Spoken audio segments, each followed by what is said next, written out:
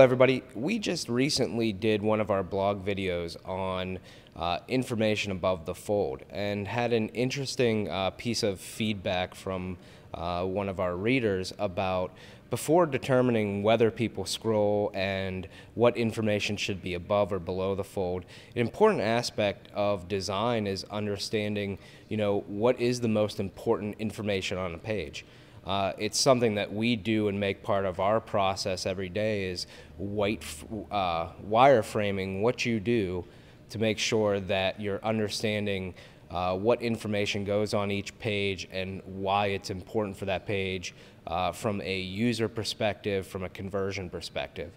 So if you're going through the process of really mapping out your site and what your pages are, um, what the layout of the different pages are. Make sure you're really understanding what the hierarchy of information is and its importance to the audience uh, and to the conversion result. How are people moving through your site and how are they going to find the information that they need at the right time? Um, so before you really get into that process of thinking about your fold, uh, which is an important process and an important piece of that wireframing process, what you should really do is work on the hierarchy of information uh, based on who your audience is and understand how the importance of certain information fits into that process and how you diagram out what even goes on a page before you start thinking about the true layout or heights or other pieces. And that not only applies to uh, regular websites, desktop websites, but really be thinking about that, especially if you're looking at responsive